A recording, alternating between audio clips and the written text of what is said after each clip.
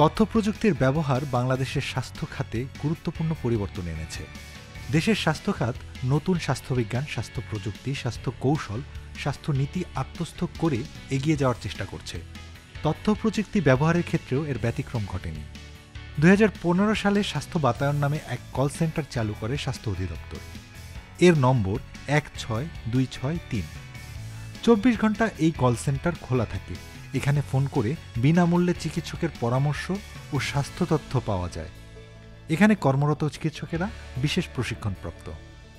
প্রতিষ্ঠার পর থেকে এবছর পঁচিশ অক্টোবর পর্যন্ত এক কোটি ছিয়াশি লাখ আটান্ন হাজার একশো উনআশি জন স্বাস্থ্য বাতায়নে ফোন করে সেবা নিয়েছেন।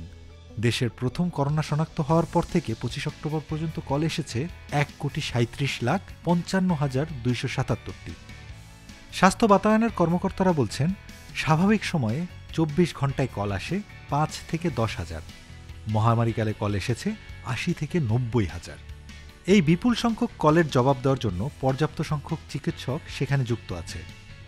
জাতীয় পর্যায়ে স্বাস্থ্য প্রতিষ্ঠান ও হাসপাতাল থেকে শুরু করে চালু তেরো হাজারের বেশি কমিউনিটি ক্লিনিকে একটি করে কম্পিউটার ও চব্বিশ হাজার স্বাস্থ্যকর্মীকে ট্যাবলেট সহ ইন্টারনেট সংযোগ দেয়া হয়েছে।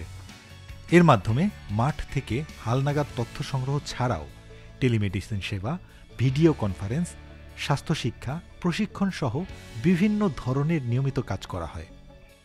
বিশ্বের তেষট্টিটি দেশের স্বাস্থ্য খাতে ডিএসআইএস টু নামে একটি সফটওয়্যার ব্যবহার করা হয়।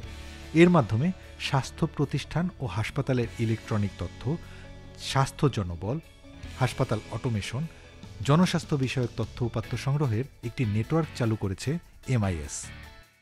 দেশগুলোর মধ্যে সফটওয়্যারটি সবচেয়ে ব্যাপকভাবে ব্যবহার করছে বাংলাদেশ। ডিএসআইএস টু ব্যবহারকারী সর্ববৃহৎ দেশ হওয়ায় জার্মান সরকার দু হাজার চোদ্দ সালে স্বাস্থ্য অধিদপ্তরের এমআইএস বিভাগকে বেস্ট প্র্যাকটিস অ্যাওয়ার্ড দেয় এবং a quiet revolution in health information system in Bangladesh নামের একটি বইও প্রকাশ করে।